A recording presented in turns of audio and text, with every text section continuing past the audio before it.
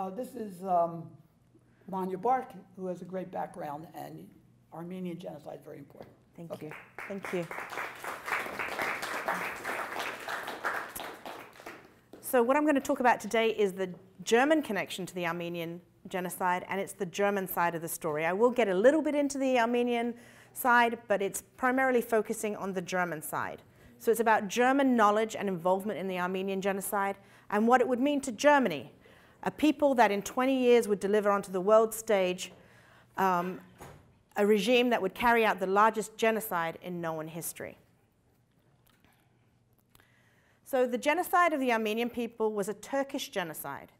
Um, the German Empire as a state neither planned it um, nor actively encouraged it, although there were individual players um, on the scene that did encourage it. Um, and it also perhaps demanded it and encouraged it and at the least supported. There were people within the, the German hierarchy that did support the genocide. Um, but Germany as a whole, as a nation, played a fatal role. They could have done something to stop it. They knew intimately the details as the genocide was unfolding.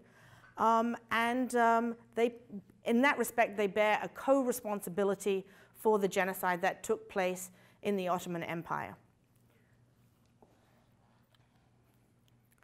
So I'm going to take you back a little bit. Um, and that's going back to Germany, the creation of Germany as a German state. So Germany was late into the great power game of European empire building and civilization and colonialization. And there were a number of reasons for that. First of all, Germany only formed its national conscience in respect to the um, Napoleonic Wars of Liberation, um, when France under Napoleon had swept across Europe and invaded towards Russia. We all know about um, Napoleon ended up um, in a quagmire in Russia.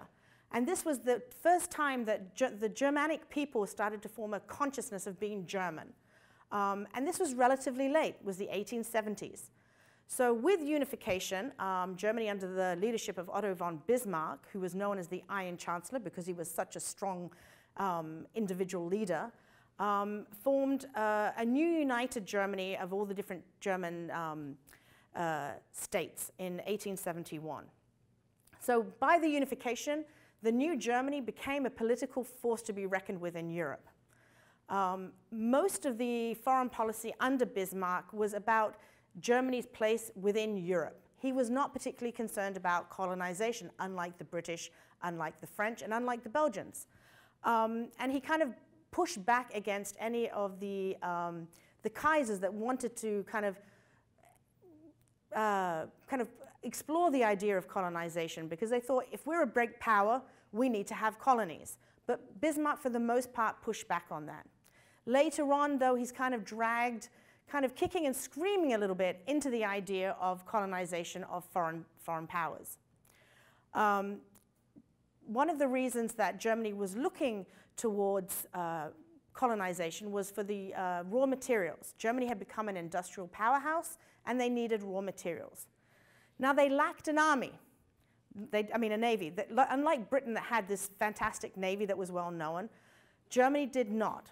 So in order to, um, to kind of push back on the British who were you know, spreading their empire further and further, um, they needed to basically play catch up and stop the other European powers. And one way to do that was through the establishment of a connection with the Ottoman Empire. Most Germans at the time believed, and you would have found this across Europe, would have, be, would have believed that colonial acquisitions um, were basically a litmus test for having achieved real nationhood. So for the Germans, we need to have a colony in order to be a great nation, on the same stage as Britain and the same stage as France. So the Ottoman Empire was known as the sick man of Europe. Now the reason that they were considered the sick man of Europe was because their fortunes as an empire had been declining steadily from the 19th century. The economy has stagnated, their corruption was rampant, and the empire was in debt to European powers, primarily France and Britain. Um, the minorities within the Ottoman Empire, because the Ottoman Empire was not just Turkish, there were many different minorities amongst the, the Ottomans. You had Christians, you had, um, which were Greeks, Armenians, Slavs, and you also had a sizable Jewish population as well. The minorities were the ones that basically shouldered the, the taxation and the increasing taxation um, as a way of trying to pay off these debts. Um, but on the flip side, the minorities had no way or no representation of, um, and no way of, of um, you know, protecting themselves. They were pretty much at the mercy of the Sultan. So no, non-Muslims in the Ottoman Empire were considered dhimmi people. Um, and the, with the upper, um, Ottoman Empire waning and with pressure from European Christian powers, the Ottoman Empire was basically forced to make concessions towards the dhimmis. Now, they were pretty sneaky about this. They did put forth some reforms in 1839 and in 1856. However, they still preserved the status quo of the dhimmi people. So basically, they still remained the people at the bottom, even though supposedly there were reforms. So this is Sultan Abdul Hamid II, and he said the way to get rid of the Armenian question is to get rid of the Armenians. He had successfully um, uh, started pogroms against the Armenians and um, with the pogroms taken a lot of their wealth. The Armenians um, kind of filled that middle group um, of merchants and traders. And um, in that respect, they were, you know, the doctors and the lawyers. So they were more, more, or less wealthy compared to the Turks, who made up the bulk of the peasant population. So that he had successfully robbed them and also killed them in pogrom-like uh, massacres. So the Ottomans, um, Armenians, by this time are pretty familiar with Turkish brutality. So there were a number of massacres, um, and we're talking large-scale massacres that occurred in the mid-1890s, again under Abdul Hamid II, the butcher.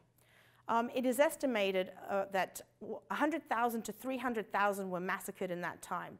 Most of the figures hover around 200,000, which is a huge amount of, of the population.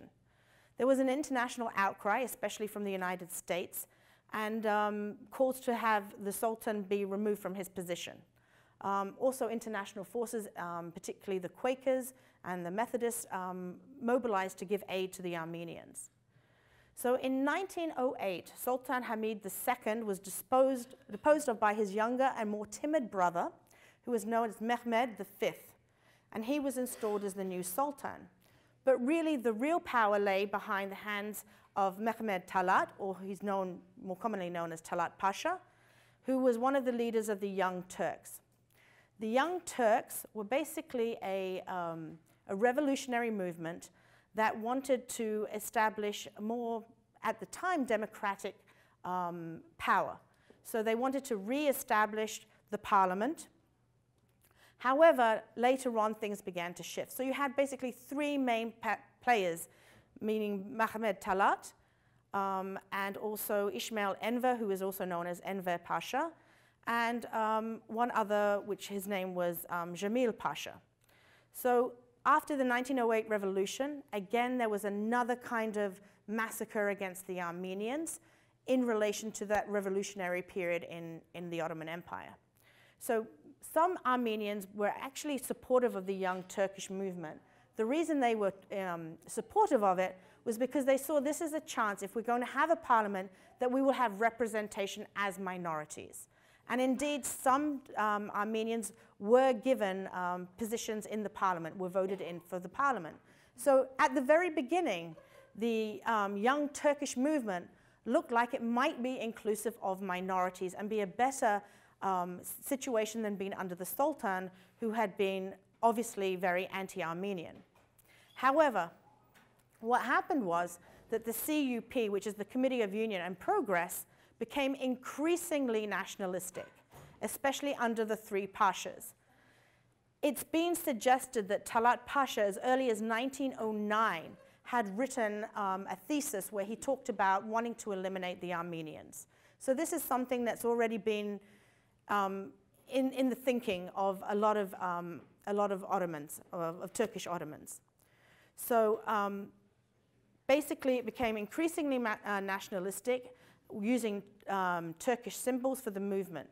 So once the nationalists, those three pashas, gained control of the CUP, um, the platform became basically a nationalistic one in which the Armenians, the Greeks, the Jews found themselves with less and less and less of a voice. Now we go back to Germany. So Kaiser Wilhelm II and his Weltpolitik, meaning his world politics, and his growing interest in the Orient. So why was Germany interested in the Middle East? So there's a number of reasons why Germany was interested in the Middle East. One was that there had always been this cultural interest in the Middle East um, since the 18th century. Kaiser Wilhelm II actually made two state visits to the Ottoman Empire and the Sultan in 1889 and in 1898. Um, actually, in the middle of when the Sultan Hamid II was massacring um, uh, the Armenians, he sent a signed photograph um, to Abdul Hamid. So the relationship was relatively close. The Kaiser basically said we need Mesopotamia. Again, the idea that we need to have a colony um, to, to um, push our aims of being a world dominant power. And while on his visit to the Ottoman Empire, while he was actually in Damascus, he stated, We are the friends of Muslims for all times. And then while he was in Jerusalem, he declared, I certainly would have turned Mahometan, which means he would have, if he wasn't a Christian, he would have converted to become a Muslim. And soon after that, he styled himself as Haji Wilhelm.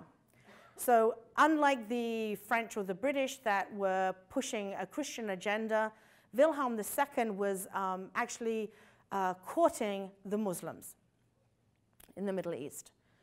Also, the Middle East offered vast economic opportunities. So, while um, the Kaiser is on his tour to the Ottoman Empire, there's also um, different groups that are following along too. So you have um, uh, uh, Krupp's Engineering, you have Mauser, the uh, um, weapons manufacturer, and you have other groups that are following along with the um, Kaiser's entourage in order that they um, put down uh, roots and make um, business arrangements within the Ottoman Empire. So it was not just a Kaiser meeting another uh, relative on, on the same level, it's also a economic push or an ec economic exploration to, to gain a, a foothold in the Middle East. So here's a picture of the Kaiser, his first visit to Constantinople, which is now Istanbul. I'm still using the old as it was then at the time. So part of this exploration is the Baghdad Bahn, um, which was the Berlin to Baghdad railway. Um, and it became the economic lifeline to the Middle East. Without rail, we didn't have, well, you had cars, but not to the same extent as you do here. So the rail became the, the link, um, kind of like the air, airplanes of today. Um, so basically, um, it was a crucial component of industrial and commercial development for the Middle East. So Germany, in its rush to become a world power, believed that the uh, Baghdad Bahn would actually facilitate this, this goal. So in addition to opening up the new markets um, in the Middle East, um, it would also act as a defensive measure against Russian and British dominance in the region. You have Russia above Turkey, and you have British in, in the Middle East, in the Suez Canal in Egypt, and um, North Africa. So really what the, the Germans are trying to do is kind of cut off um, any further movement for the British and the, um, the Russians in particular. So the Baghdad Bahn became basically the, the most important investment of Germany before World War I, and it was actually supported financially by the Deutsche Bank, which is one of the biggest banks in Germany. And it will have its implications during the Holocaust as well. So success um, for future German expansion in the Middle East really depended on the success of this Baghdad Bahn. And also, incidentally, this railway would slice not only through Europe, but also through Turkish and Armenian lands. As you can see through this map.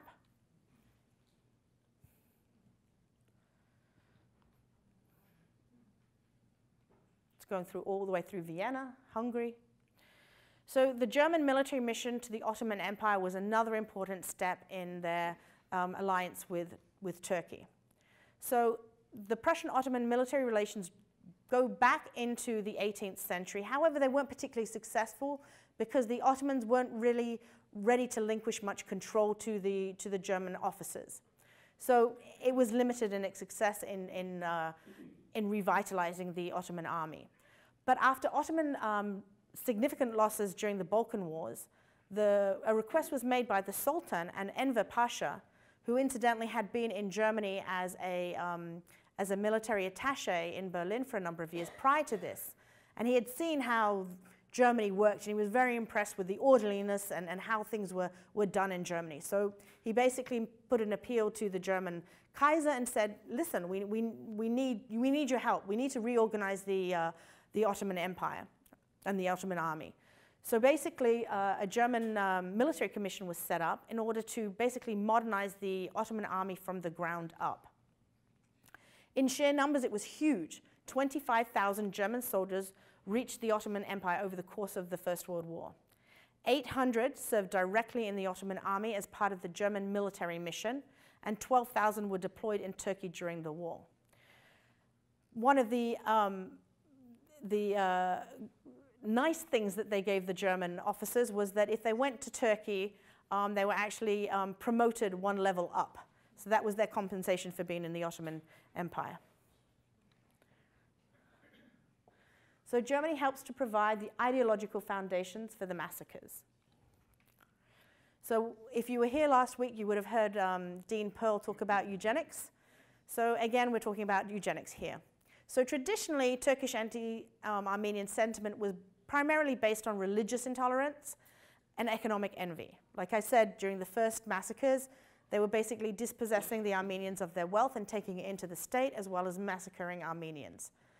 And they also feared um, that the Armenians would want um, autonomy because there were different, at that time, there were a lot of um, minorities agitating um, for their own autonomy, not just in Turkey, but across Europe. I mean, we've all heard about the assassination of Grand Duke Ferdinand. That was, again, you know, Serbians agitating for autonomy. So this was, this was a political movement that was basically spanning across Europe into the Middle East. So they were afraid that the Armenians would want autonomy. However, now with Germany, Germans basically well entrenched in the Ottoman Empire, they actually exported from Germany a new brand of intolerance, which is racial stereotyping and eugenics. So it was fairly common within the German military class and also the ruling class um, that the Armenians were an inferior race. Um, and they also believed that this, the inferiority of the Armenians was hindering their own um, push into the Middle East. So Edvald Banse believed that the Armenians should be eliminated from the face of the earth, while Friedrich Neumann stated that Armenians are racially weaker than the Turks and the weaker nation must succumb. This has been stated in the early 1900s. So Friedrich Bronsart von Schellendorf, the chief of staff with the German military um, mission, stated that the Austrians, and, I mean the Armenians, are nine times worse than the Jews. He was a rabid racist, anti-Semite, and it's probably no surprise that he would later actually be a, a main supporter of the Nazi party. Also, um, they introduced the idea of ethnic stereotyping. Um, and they basically developed the idea, the Germans developed the idea, that the Armenians were actually the Jews of the Orient and sucking the blood of the Ottoman economy. So Ger the German officer corps, which is traditionally anti-Semitic, racist, and conservative, accepted the idea that the Armenians were a negative force. So couple those two ideas between traditional Turkish anti-Armenian sentiment with the new eugenic ideology coming from Germany, and basically you have um, a combined lethal form of hatred. This is von Schellendorf, who is a military advisor. The Armenian is just like the Jew, a parasite outside the confines of his homeland, sucking the marrow of the people of the host country. Year after year, they abandon their native land, just like the Polish Jews who migrate to Germany to engage in usurious activity. Hence, the hatred which, in the medieval form, has unleashed itself against them as an unpleasant people, entailing their murder. So the idea of removing the Armenians had already been voiced before World War I. You had uh, basically um, scientists of, of um, various varieties that believed in um, and using the Armenians. One of them, his name was Paul Rohrbach, and he introduced the idea of removing the Armenians en masse and resettling them in Mesopotamia. And he believed this not so much as a, a, negative against the Armenians, but he believed that the Armenians were actually a very industrious force and a force to be reckoned with. The reason that he believed that they were an industrious force was because, as I mentioned before, they were the, um, the doctors, the lawyers, and the merchants. So they were the ones that were the powerhouse of any kind of economy. And if Germany was to expand into the Orient and into the Middle East, who did you need to help you start up your economy? You needed those industrious people. So his idea was you're going to move them from Turkey into Mesopotamia, where Germany wanted to have more influence. And therefore, they would help the German economy build itself up in Mesopotamia.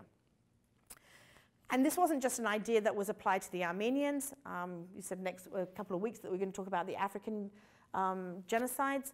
The same thing was applied by the Germans in their colonies in, in Africa as well. It was this idea that um, minorities or other people are expendable. So you had many within the German establishment, both um, within the um, army as well as um, in industry, that believed that these people were expendable for their own benefit. So this uh, general, Colmar von Goltz, whose name by the uh, Turks was Goltz Pasha, and the reason he got that name was because he was so highly regarded by the Turks. Not anybody could become a pasha. So he was the advisor to the Ottoman Empire. He believed in uprooting and relocating, and he believed this in military terms. Um, he believed that they would be a, a threat to the Ottomans, and they were a subversive element. So he wanted them removed from the outlying areas of the Ottoman Empire and resettled south in Syria or Mesopotamia, where they would no longer be a threat. There's also some evidence that during the war, the First World War, that he gave explicit orders that Armenians working on that Berlin-Baghdad Bahn, that they should be deported, and during that time, deportation meant certain death. So he is credited with persuading the Sultan to try and end the Armenian question once and for all. So now we come to the eve of World War I. So the Turks also had their own imperialistic uh, dreams. Under the le leadership of Enver Pasha and Talat Pasha, a new Turkish nation was to be created which would stop the collapse of the Ottoman Empire, which was crumbling, and bolster Turkish power by pushing eastward through Armenia. You can see Armenia is that yellow dot. Um, to reunite the Turkic people of Central Asia and Turkey. So this kind of idea of bringing home all the Turkic people, which we will hear again later on during the Second World War, when you hear about bringing back the Germanic people and all the Volksdeutsch under one Germanic people, that same idea is already been manifested by the Turks 25, 26 years earlier, that they're wanting to bring all the Turkic people under Turkish rule. So Turkey and Imperial Germany entered a military agreement which guaranteed that there would be a German chief of staff in every Turkish army division. That's huge. So basically, troop movements and strategic decisions and planning would be made and approved by the German in command, not by the Turk in command, but by the German in command. So Turkish-German military alliance, a catastrophe for the Armenians. This is Goltz Pasha, the German, with some Turkish military officers. So war, just like in the Second World War, it becomes a cover for genocide. So war for the, um, the Ottoman Empire was a little later than for the rest of Europe. They entered the war on the 31st of October 1914, about two months later than Europe. Within 31 days um, or of them entering the war, the um, first massacres began. And they began in the outer lying provinces that basically buffered Russia. So in a lot of these towns and villages, any male over the age of 10 was marked for execution. So it wouldn't be long before they would actually then start targeting those that were left behind, the women, the children, and the old people. So the news of these, um, these massacres was already kind of filtering back to Constantinople. And um, there were a number of um, Ottomans that then kind of beseeched the um, Pasha that these massacres should be stopped. However, they weren't. he basically said nope, and he actually created what they called a special organization, which is akin basically to the Einsatzgruppen that will be used against European Jews, or particularly Eastern European Jews during World War II. And it's interesting that these same kind of euphemisms are used during the Armenian genocide as that are used in during the Holocaust. So they were set up quickly, and most of the, the uh, members of these special organizations were career criminals who had been let out of jail and who were known for their brutality, murder, rape, and so forth. So these are the ones that are tasked with carrying out attacks against um, the Armenian people. And the idea behind this was that, like Goltz Pasha, the Armenians too were basically stating, at least two of the Pasha, Enver and Talat, was that the Armenians were a suspect people. Because the Armenians were Christian, they were not Muslim, and they had uh, Armenian brothers and sisters in Russia. In the first months of the war, quite often there were Armenians on the Turkish side fighting their Armenian relatives on the Russian side of the border. So they be began to propagate this idea that the Armenians were suspect, that you couldn't trust them. They were probably going to go over to the Russian side or they were going to attack Turks within, um, within the Ottoman Empire. So there was this idea then that was really promoted that the Armenians were therefore um, to be looked at in a, in a suspicious way. Despite their appeals, the Armenian appeals to the Talat that these massacres stop, um, they then saw that that was getting them nowhere, so they knew the relationship between the Germans and the Armenians, and they sought reassurances from the German missions that were already established and diplomatic um, houses that were throughout the Ottoman Empire. So Hans Freiherr von Wangenheim, he was the German ambassador in Constantinople. He actually refused to help. He knew what was going on. He'd had reports from um, other diplomats, German diplomats within the provinces. So it wasn't like he didn't know to the extent of, of what was happening in these provinces partly why he uh, refused to acknowledge what was going on or to give them help was because he too saw the Armenians as vermin. He actually told the US ambassador Henry Morgenthau, I shall do nothing whatsoever for the Armenians. As soon as word was out that von Wangenheim was not going to help the Armenians, the Turks began to arrest um, Armenian intellectuals and community leaders. Over 300 of them were arrested and kind of uh, reminiscent of Katyn, where the Soviets actually massacred all Polish intellectuals and military officers. These 300 uh, Armenian lawyers, doctors, uh, priests, um, anyone who had uh, any standing in the community was massacred. And this was in the big city of Constantinople. So it, it wasn't missed. People then knew across Europe what was going on. So under the cover of the British and Anzac campaign to um, take control of the Dardanelles in the Battle of Gallipoli, you've probably seen some films about the Battle of Gallipoli, the Turks began their deportation of other Armenians and other Armenian intellectuals and leaders from Constantinople on the very railway that the Germans had created, that Deutsches Bagdadbahn. So they were deported to their deaths. Once the Allies failed to take Gallipoli, in um, January 1916, the Turkish government, or under the three pashas, became emboldened. They thought, well, we've got away with it. We've beaten the, the Anzac forces. We've beaten the British. This is it. We can go. So what happened one then was that they embarked on the, a bolder plan to eliminate the Armenian people, men, women, and children, basically 2 million people, through massacre and deportation. So this became the massive uprooting of the Armenians, was along the same plans that had been suggested earlier by some German scientists. Again, let's uproot a whole people and move them to Mesopotamia and Syria. However, there was no intention by the Armenians of moving them and settling them anywhere. This was moving them to their deaths. There were no supply chains, there was no, no, um, no housing, no, no anything.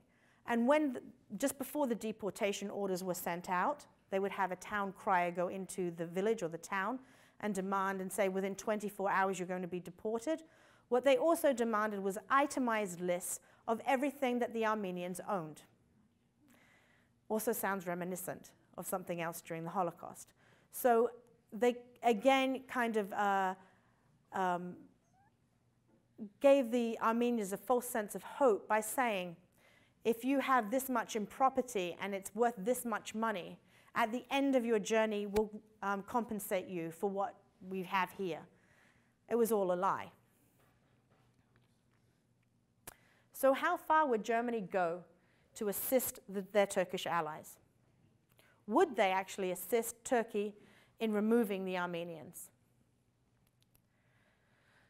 So, German mili- the military mission and the ambassadors and anti Armenian violence. So, von Wangenheim, that same one that said he wasn't going to assist the uh, Armenians, cabled Berlin stating that deportations were being conducted by the Turks for military considerations. Basically, he's agreeing with Talat Pasha that the Armenians needed to be deported for military reasons, that they couldn't be trusted. And he stated that as such, because it's for a military reason, that the, uh, the policy was also in the interest of Germany. Von Schellendorf, that lovely um, gentleman who's quite the racist, was one of the highest ranking German officers in Turkey. And he was also effectively um, Enver Pasha's second in command. He also called for the Armenians of the six provinces, the major six provinces, to be dealt with harshly. He gave his approval to Talat's um, deportation by issuing his own deportation order um, on July 25th, a couple of um, months later than the one by Talat. But the fact that he would actually issue his own deportation order is really significant, that, and that he would sign his name to it. He also noted that Armenian soldiers that were demoted into labor battalions should be deported and tre treated with severe measures. Um, what had happened was uh, after, when, when Germany started to reorganize the Ottoman Empire's army, um, anyone that was a, a minority also had to serve in the Ottoman army. But what happened was within the first few months of the war, Armenians that had been drafted into the Ottoman Empire were then seen as suspect. So they were demoted out of the army into labor battalions. Also, significantly, a call went out amongst the provinces that all Armenians should surrender any personal weapons that they have. So Schellendorf then also utilizes the same code words that Talat Pasha was using for massacre and extermination, which were severe measures. Lieutenant Colonel Sievert, who was also from the German military command, um, oversaw military um, Turkish intelligence, which was no known as Department Number Two. Also encouraged Enver Pasha to expand the special organizations, or killing squads. The special organizations who organized the genocide and were, supplied, and were supplied by Department Two, which is headed by Germans. All operations were arranged by that same department. So as you can see that the Germans are implicitly involved in those special organizations. On July 7, 1915, von Wangenheim confirmed that the Turkish government is trying to exterminate the entire Armenian race. Now, this seems like it's a bit of an about turn for von Wangenheim. However, it's not. Word had already reached the rest of the world, including the United States, especially as, um, the, as Morgenthau was very, very um, upfront about trying to stop the Armenian genocide. So really, the Germans were basically trying, under von Wangenheim, the diplomat, were trying to basically cover their, um, cover themselves, so that they're again kind of shifting the blame to the to the Turks and kind of taking the blame off themselves and their own involvement. Therefore, you see these cables going back and forth that Turkey is trying to eliminate and exterminate the Armenian race. However, quietly behind the scenes, um, it's kind of like the nod, nod, wink, wink between the Turks and the Germans that, yes, we've officially said this, but we're not expecting you to take any measures to stop those, those massacres.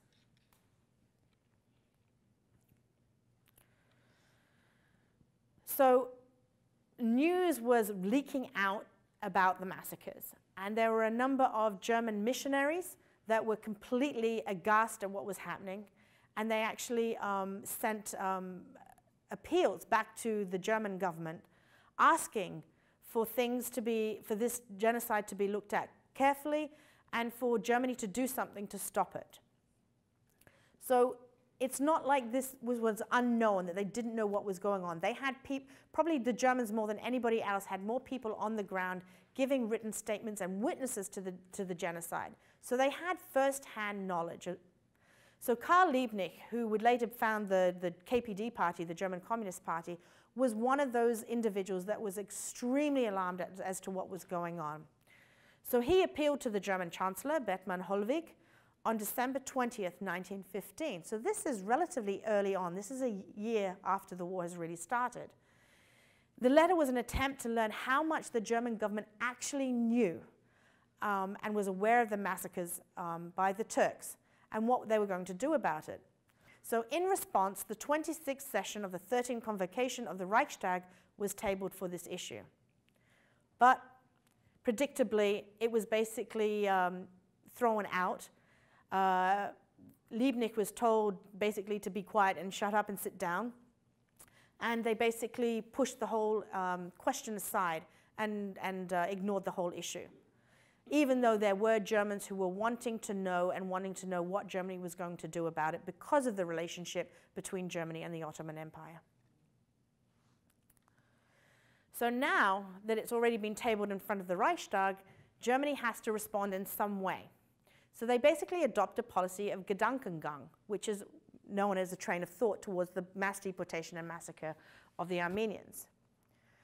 So when Max von uh, Scheubner Richter, who was the German vice consul to Erzum, disputed the official Turkish and German um, uh, uh, reports, especially von Wagenheim, he's writing reports as well. So um, Richter, he actually um, questions those reports and he says that what the, the Armenians are being charged with, with being like a, a fifth column, is actually incorrect. It's not true. So General Schellendorf objected to Richter, and Wangenheim also responded by saying the Armenians have started the trouble themselves. The Ottoman government was protecting them. A lot of doublespeak there. So this argument was eventually called Gedankengang, and it became the official German policy in regards to the massacres. So not only did the German government deny that the Armenian genocide was happening, but they actually formulated the first major denialist argument that's actually still used today by the Turkish government. So Germany had a direct benefit from the official line of denial in which it diminished their own culpability and responsibility and participation in the genocide. So the German uh, uh, Foreign Office in Berlin the State Undersecretary Arthur Zimmerman ordered the fabrication, this is like mass propaganda, fabrication of reports that would show that the Armenians were treasonable and guilty. So basically, it was, um, yeah, quite, quite something about, uh, what, what's the word that we use today? Fake news, yes. so Germany is one of the first originators of fake news. And so really the, the Armenian vict victims are denounced twice. Um, they're denounced by the Turks and they're denounced by the Germans, and their, their deaths are basically made into something that is fake news. So this is the German ambassador in Constantinople. This is the Van Wangenheim. I do not blame the Turks for what they are doing to the Armenians. They are entirely justified. So when you have the top German diplomat stating that the Turks are justified in the extermination of the Armenian people. The Turks are not going to uh, do anything to stop those massacres. So now we get to the role of the Bagdad Bahn.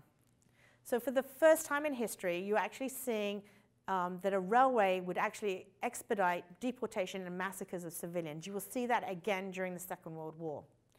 So basically, the railway had become a means for wholesale mass extermination of the Armenians towards the Syrian deserts. Franz Günther, who was actually um, an official in charge of uh, the Bagdad Bahn, and he was actually with the Deutsches Bank, he was one of the few people that actually was aghast at what was happening to the Armenians, as it was happening right under his nose. So he sent a report to his superiors in Berlin and in it, he was denouncing what was happening to the Armenians and, and denouncing the deportation and demanding that something be done for the Armenian people. He described in it how more than 800 old people, men, women, and children, were rounded up and forced into freight wagons. There was no answer, so he sent another telegram, and in it he sent photographs titled The Bearers of Culture in Turkey. The Armenians were known as the bearers of culture, musicians, artists, poets, an incredibly cultured and intellectual people. So these are our so-called sheep wagons. 880 persons are transported in just 10 wagons. Remind you of something. Not only was the railway used, but the deportations were centrally organized. Timetables were kept, and uh, the trains were kept running on time. Lists were made of which towns were emptied of the Armenian inhabitants and when they left, how many, where they were sent to, and what percentage of the total population they constituted. Talat Pasha was known to have a telegraph machine in his own home, and he would demand that the different provinces report back to him daily as to what, what was going on with the deportation of the Armenians and how many were left. The Turkish and German alliance eventually began to fray. Why did it fray? Not because of what the Germans saw as the disgusting treatment of the Armenian people, but rather because the Germany, Germany wanted to see the railway used to transport military equipment, and it was being clogged up by the transportation of human beings. So then you started to see a fracture within the German um, and Turkish alliance. Also, the Armenians, many of them were forced to assist in the completion of the railway. There was a chunk of railroad that had been incomplete, and the German engineers were furiously trying to complete the, the, the track in order that they reach all the way to Baghdad without having to unload and use wagons to then get to the next point. So a lot of them were used um, as slave labor, basically, um, to finish this railway track. But what they didn't know was that this railway was actually basically hastening the deaths of their fellow compatriots. So here are some of the pictures that, um, that uh, Günther took of the Armenians packed into cattle tracks. And on this picture, this is, this is one that he sent. And you can see there it says 40 ohms, which is uh, 40 men. But you can see in there, there's definitely more than 40 people in, in, that, in that one there. So this is where the railway is cut in two, and you'll see the forcible slave labor of Armenians to complete that track. And that was under German engineer supervision. These are some of the um, slave labor, Armenian slave labor on the railway.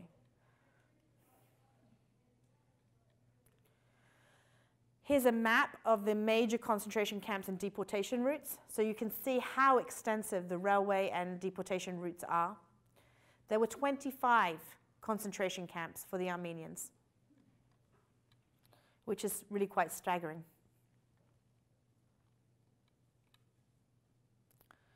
And here you can see Armenia, and the, um, the red dots represent the size of the population that was exterminated.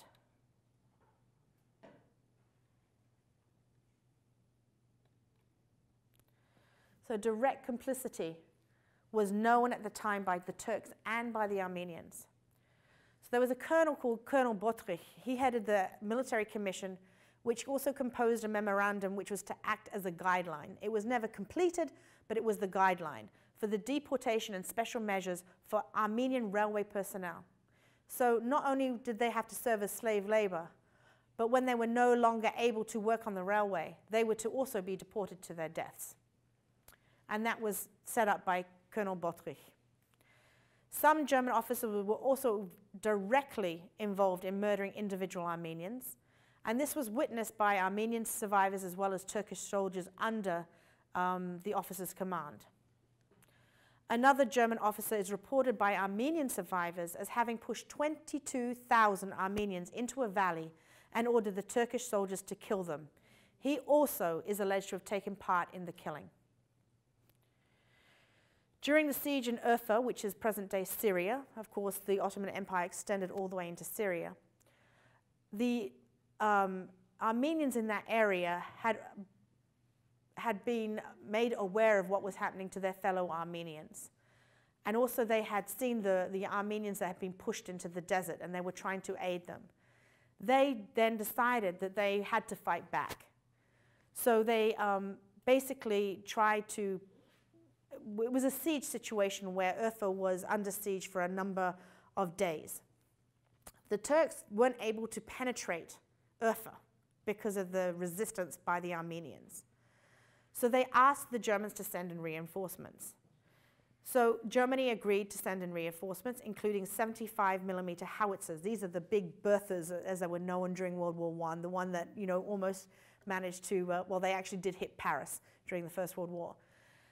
And in charge of this, this uh, battalion was a Major Eberhard Graf Wolffskeel, who personally led the attack against the Armenians. So many German officers witnessed or were directly involved in the massacres and wrote about their massacres to their families back home in Germany. So we actually have diary reports of German officers talking about the massacres of the Armenians and their participation in it. This is from um, Eberhard Wolffskeel. He wrote back to his wife, When our artillery fire struck the houses and killed many people inside, the others tried to retreat into the church itself.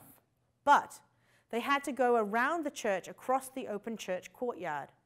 Our infantry had already reached the houses to the left of the courtyard and shot down the people fleeing across the church courtyard in piles. All in all, the infantry which I used in the main attack acquitted itself very well and advanced very dashingly.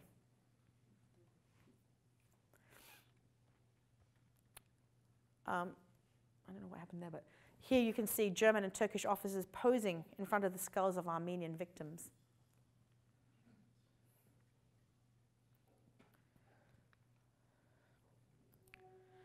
The German Reich provided the weapons to carry out the genocide. Like I said, those first two exploratory trips by the Kaiser were also about economics. So the Turkish forces mainly used German rifles and other weapons to carry out the genocide of the Armenians. Mauser, supplied the Ottoman Empire with millions of rifles and handguns. German officers were also equipped with, um, German, with Mauser rifles or carbines, and the officers had Mauser pistols. The Turkish army was also equipped with hundreds of cannons, which were produced by Krupp, which were used against the Armenian resistance fighters, especially at Musa Dag Mountain in 1915. Colmar van Goltz, that same Goltz Pasha, boasted that without me, rearmament of the army with German models would not have happened. So also, in order for the uh, Turks to know how to work the weapons, they needed to be trained by Germans on how to use these weapons. The world will always hold Germany responsible. The guilt of these crimes will be your inheritance forever. I do not claim that Germany is responsible for these massacres in the sense that they instigated them, but she is responsible in the sense that she had the power to stop them and did not use that. That was by Henry Morgenthau, the, Germ um, the US ambassador to the German ambassador Wangenheim. Incidentally, Wangenheim's um, replacement, Wangenheim actually died of a stroke um, and he was replaced by a, um, another um, General Metternich. And Metternich unlike his predecessor, was constantly cabling um, Berlin, demanding that Berlin do something to stop the massacres. It's no surprise that the Ottomans demanded that Berlin recall Metternich from his position as ambassador. So, post war exile of Turkish perpetrators in the German debate. As we all know, Germany and Turkey lost the war but Turkish perpetrators of the genocide escaped with the help of German generals and diplomats. Talat was actually um, escaped with the use of a German submarine back to Berlin, and they were all given sanctuary in Germany. The British held war tri crimes trials, and they, the three pashas were tried in absentia and convicted. But German authorities, which kind of shows you the sense of guilt or responsibility that they had, were concerned that they would be held accountable for the genocide. So in 1919, a Dr. Otto Göppert, who was the chief military advisor to the German Foreign Office, was concerned about German financial responsibility, meaning reparations, resulting from the genocide. So already they're trying to create the argument to release them of their responsibility because they were afraid that they would have to pay reparations for their own involvement in the genocide. We have now more fake news. the German Foreign Office in 1919 started to quickly publish a collection of diplomatic correspondences in attempt to fend off accusations of complicity. And this was done before the Paris Treaty, Peace Treaty, which is the Treaty of Versailles, because they were worried that if their complicity in the genocide was known, they would be dealt more harshly by the, by the, the victors um, during the Versailles Treaty. So instead of quietening the debate, it actually kicked off a, a debate um, whether this was murder of a nation or annihilation of the Armenians. So it was discussed in the newspapers in 1919, 1920 fervently. There were a lot of returning soldiers too and officers coming back. And um, this became part of the debate to the point where the Nazi Party too um, was included in part of this debate. They started um, internalizing some of those arguments that had been used. So it's probably no surprise that Talat was actually assassinated in Berlin in 1921 by an Armenian, Sogomon, and I will not even try to pronounce his last name in Operation Nemesis. This was a group of Armenians that formed an operation or, or a group to assassinate those that had been involved in the Armenian genocide. So it, it, it's interesting that because of the public debate that was being held in Germany at the time, he was actually acquitted of the murder by a 12 man jury in just two days. So that was how much public sentiment in Germany was in favor of Talat's assassin.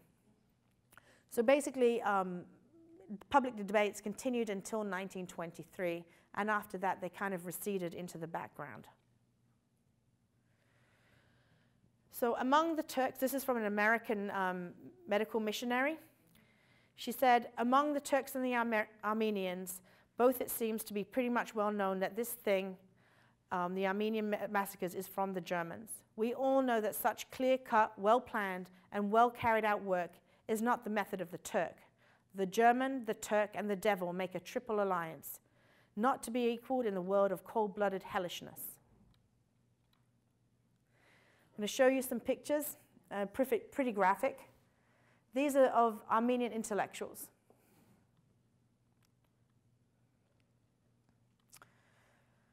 This is um, Max von Scheubner-Richter wrote this. He was the German vice consul. He was the one that spoke out against the massacres initially.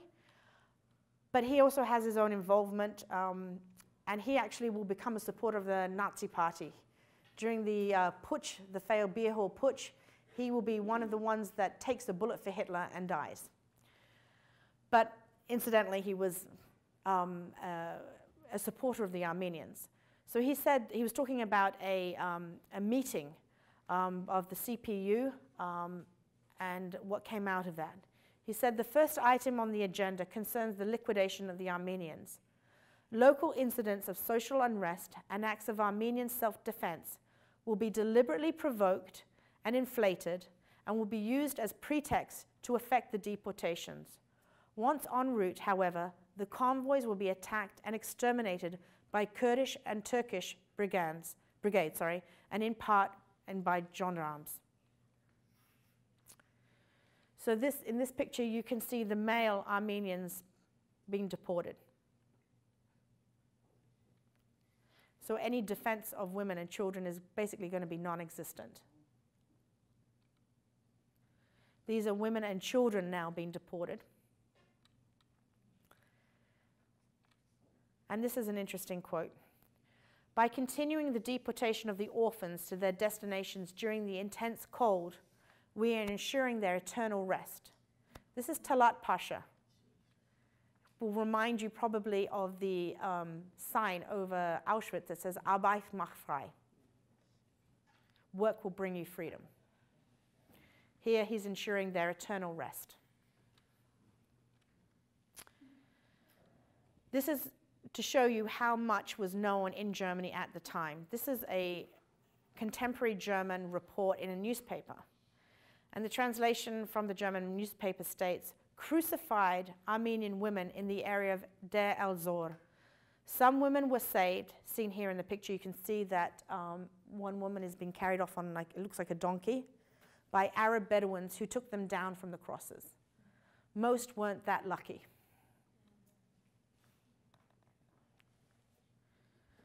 This will show you just a snapshot of the horror.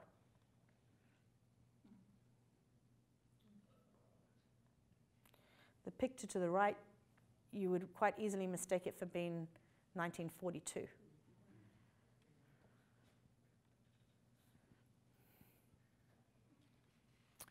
Who, after all, speaks today of the annihilation of the Armenians? Adolf Hitler, 1939. Thank you.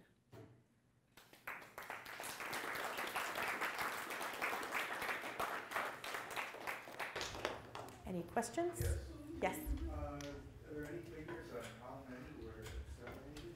They say a third of the population. Which was what, about four million, four million, Uh, no, two million. two million? But the, the population of Armenians that did survive were mostly in Russia, Armenia, Russian Armenia. Also, uh, the railway, the railway that they had built, is- was that the same one that went down to actually, to to Cairo?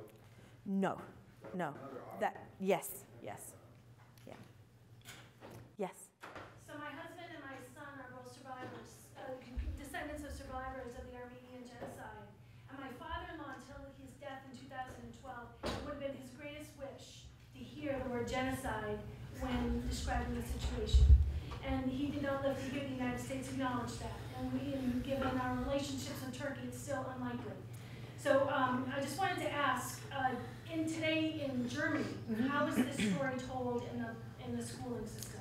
In the Bundestag in 2015, the German government publicly acknowledged their responsibility to the genocide and they called it a genocide. It caused a big uh, diplomatic roar with um, Turkey, um, which really hasn't really been healed since. Um, but then, given the Erdogan in Turkey, one wouldn't expect that. Um, I just want to say also too, there's a saying that is when you hear an Armenian laugh, it's because he knows that he survived. And that's something that they say to each other. So. thank you. Thank you. Yes. I have a question. Just speaking of this situation, drawing parallels to the situation now in northern Syria, do you feel that, and obviously it's a much smaller scale, but do you fear that there's a fear of this same kind of fate for the Kurdish people? And do the Turkish people still have this ideology of uh, Turkish superiority? And is this something that's maybe driving I mean, I think Erdogan is definitely somebody who's promoting that, and he has been for years. Um, if you talk to Turkish people, a lot of them that come and study in the West, I- mean, you, you hear that in Germany. I mean, I can talk from from my own German experience. Um, a lot of, there's a lot of Turks in Germany. So at university, you would find a lot of Turks surprised. They didn't even know, they weren't taught anything about the Armenian genocide in school. So when they're hearing it for the first time in the West, a lot of them are shocked. So given Erdogan's position and control of the state of Turkey for a long time, I would say that there has been even less knowledge um, that has been filtering in for a long time. Um, and really, I think it's only for Turks that are educated or have traveled abroad that would know about it. Um, and he's definitely been promoting a, a superiority of Turks and kind of agitating in some way, at least I believe he has, to create um, another Ottoman Empire. He sees himself as another Pasha, effectively. Um, and I do think that what's, and I think it's to America's shame what's happening in, in, um, in, in uh, Syria right now. some of his language about the Kurdish people? It just echoes some of these code words and things that Oh, absolutely. he said things about total domination of the of Kurds. Absolutely. And he, using the same word, terrorists, they're terrorists, they're subversive elements. That, those same code words are being used again and again and again. But it's ironic because the, the Kurds during the Armenian um, genocide were those committing genocide against the Armenians. I mean, some of the stories that you hear, I mean, I'm not saying that 100% of them were, there were Kurds that actually saved Armenians, but on the whole, the Kurds were complicit in the annihilation of the Armenians. Um, and if they weren't complicit in uh, genocide, they were complicit in the rape and um, slavery of especially Armenian women. Um, though, the, I mean, you might, if you if you're interested, you can see um, photographs of Armenian women who have been tattooed across their face. Um, and this was because in, in Kurdish tribal regions, tattooing was part of um, identification as Kurd, as, the culture, as culturally Kurdish. So you will see these women, basically, Armenian women branded um, by these, these, these Kurdish people too. So for the Armenian people, there's, there's a mixed response to, to, the, to the Kurds. But in a present day response, I could imagine that they, they see the parallels. Anyone else? Yes. Um, can I just bring up the book I told you Yes. about? And actually, Michelle and I, Michelle had read it too. Um, a book by Chris Bohjalian called uh, Sandcastle Girls. And, um, I mean, you could see where one of the gentlemen, um, he was an engineer forced to work on the railroad, and one of the women, her husband was killed.